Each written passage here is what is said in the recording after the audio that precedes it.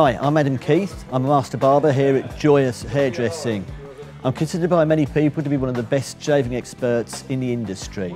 It's very, very important when you shave to wash your face first with warm water. That's because warm, heat and water weaken the hair. Then you want to condition the skin with a pre-shave lotion.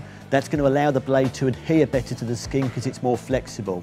When you're ready to apply the shaving cream, always apply it if you can with a brush because you're always going to get a better shave when using a brush. That's because the brush can pack the cream under the hair on your face and it means if it's like blades of grass, the blade can glide over the face rather than scraping.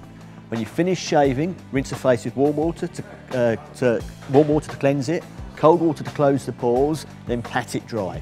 Then use an aftershave balm lotion, not an alcohol. A good aftershave balm lotion should be packed with essential oils, vitamin E, which helps the building blocks of the skin, and also witch hazel is a very subtle toner. Castle Forbes, the best shaving cream in the world, contains all of this and will set you up for the perfect shave at home.